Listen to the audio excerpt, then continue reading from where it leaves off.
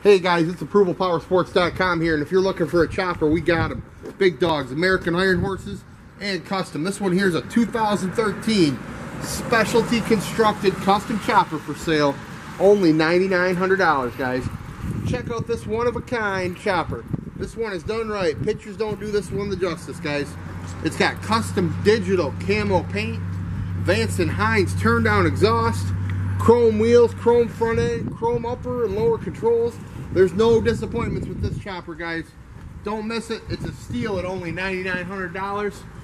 Give us a call or visit the website, approvalpowersports.com.